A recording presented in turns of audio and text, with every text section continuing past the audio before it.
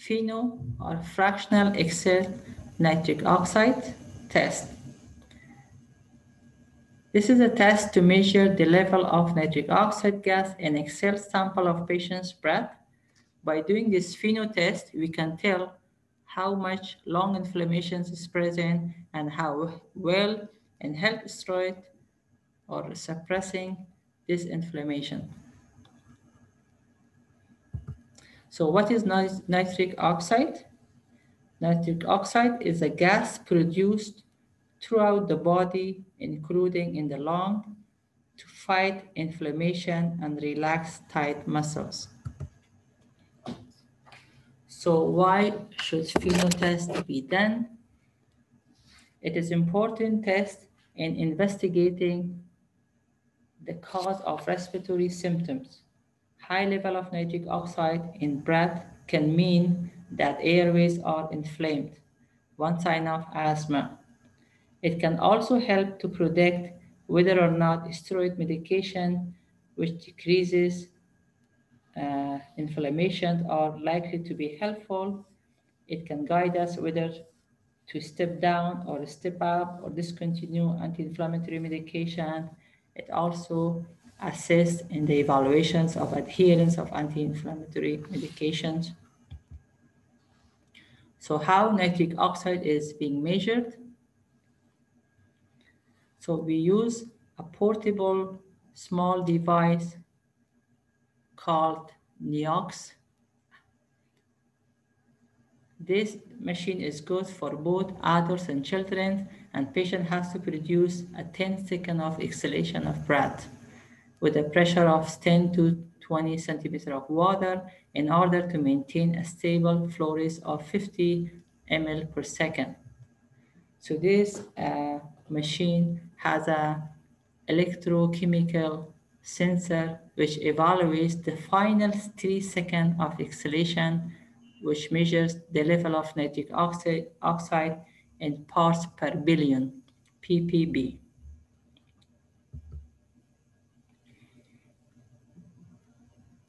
So the procedure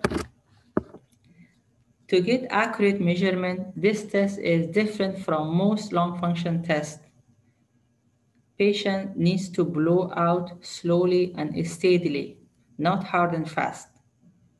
So we ask the patient to breathe in deeply and slowly till the lungs are full, and then exhale slowly and steadily for about 10 seconds.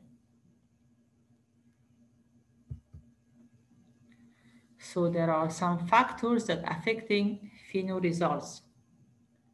These factors are non-disease related factors, for example, diet, smoking, coffee drinking, leafy green vegetables, anti-inflammatory medication, allergen exposure, respiratory viral infection, measurement technique, spirometry, so we should so should not be done performed first. During bronchodilation, FeNO could increase. During bronchoconstriction, FeNO decreases. So it's mandatory to correctly interpret FeNO result in patients, in each patient.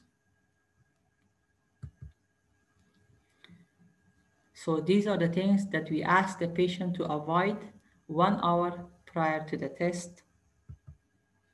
For interpretations, FeNO level of less than 25 ppb is normal for adults. For children, less than 20 is normal.